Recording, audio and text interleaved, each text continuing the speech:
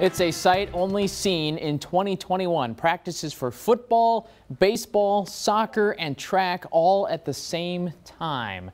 After having zero sports this time last year, athletes across Wisconsin are now pulling double duty as the alternate fall and traditional spring seasons overlap. This is the first week of practice for most spring sports teams at Eau Claire North.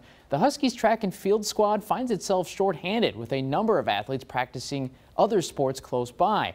North head coach Adam Sturgis told his kids to focus on fall sports completely, then think spring.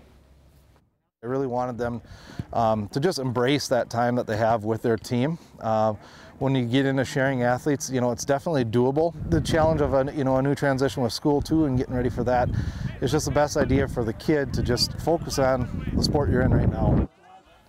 North senior Joshua with John is living out this scenario. He scored his first soccer goal of the season Tuesday. When the season is over in May, he'll turn his attention to track. It's kind of worried that we weren't going to get a season at all. So being able to have soccer and track kind of means a lot to having that season.